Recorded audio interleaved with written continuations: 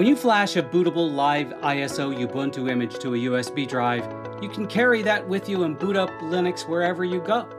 The problem, however, is that you cannot store files on that standard live drive. In order to be able to save files to that drive, you must create it with persistent storage. Persistent storage is exactly what it sounds like a portion of the flash drive dedicated to storage.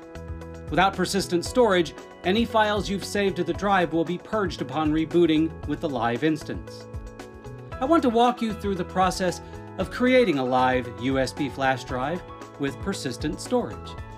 This will only work with Ubuntu and Ubuntu derivatives, so make sure you've downloaded a supported ISO image for your distribution of choice. I'll be demonstrating the steps for installing Ubuntu Desktop 18.04 on a USB flash drive from Pop! OS. With that said, let's get to work. Install MKUSB with the following commands. sudo add apt repository ppa colon mkusb forward slash ppa. sudo apt update. sudo apt install dash dash install dash recommends mkusb mkusb-nox, USB-pack-EFI. When you first run MKUSB, you will be asked if you want to run the dbus version of the tool. Click Yes.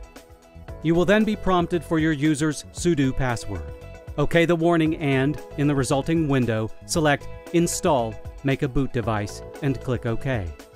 Now we come to the portion of the installation that allows us to instruct MKUSB to add persistent storage to the flash drive. Select Persistent Live, only Debian and Ubuntu, and click OK. Once you've selected the target for persistent storage, you can then select any options required for the drive. Select UPE FI. Click OK and then, when prompted, select the size you want for persistent storage. Move the slider to the percentage of free space you want to use and click OK.